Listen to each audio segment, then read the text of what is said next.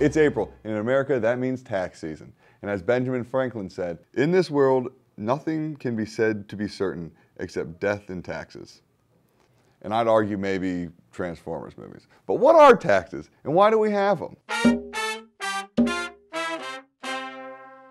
So we were gonna do a normal tangent video on like taxes, but it turns out taxes are kind of boring. Like every recorded civilization has had taxes. To quote Oliver Wendell Holmes, taxes are what we pay for a civilized society. So instead, we were going to try something different and just list off some funny facts about tax. Tax facts. Facts tax. Tax fact, facts tax? We'll come up with a cool title right now.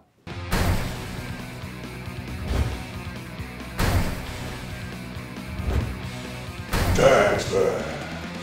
Here are some things that have a lower word count than the US tax code. The combined works of the Iliad and the Odyssey, the Bible, the Harry Potter series, and Fifty Shades of Grey. I have only read one of those books. The ancient Greeks had an interesting tax policy called eisphora. Uh, eisphora. I just put it put it underneath. I'll keep going. Uh, in this policy, they would tax the wealthy, but only in times of war, and then would actually repay them with the spoils of victory. Something tells me that Leonidas didn't get his cut back.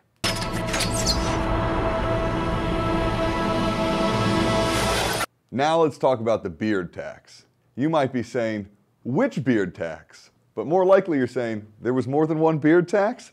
In England in 1535, the bearded King Henry VIII instituted a beard tax to ensure that a man's facial hair would match his social status. I'm probably just slightly above a serf at this point. Meanwhile, in 1700s Russia, Peter the Great and beardless, though he did have a sweet stash. Look at that stash. That stash is dope. That's a good stash. Check out that, like, it's a nice stash. I'm just saying, like, people don't rock stashes like that anymore. That's a, that's a, that's a, it's, a good, it's a good mustache, all right? He introduced the opposite beard tax. He wanted everyone to be clean shaven because he thought that the clean shaven man represented a modern society. If you're not getting a theme through this, this show yet, like everything's been taxed at some point.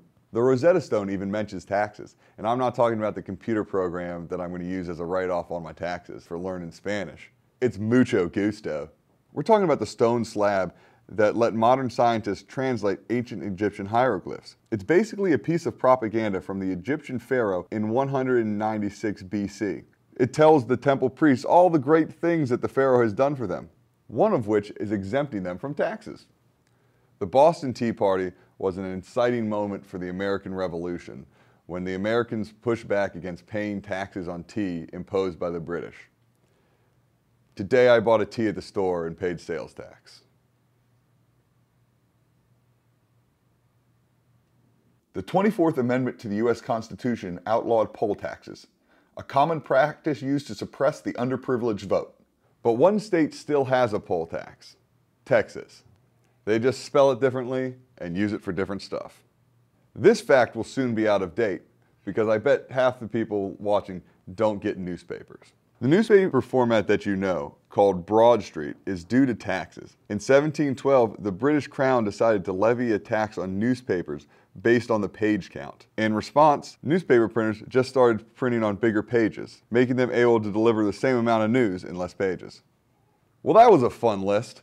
Let us know if you like this format or you want us to go back to the other one. If you didn't like this format, don't worry, we've already filmed the next one. If you did like this format, we already filmed the next one, so it's not it's going to be the old way. But all this talk of taxes has really gotten me thinking I should probably get paid sometime soon, right? John, John? Hey, John.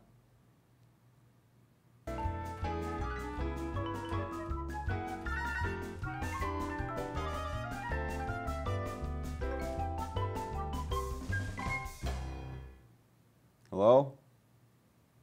Guys?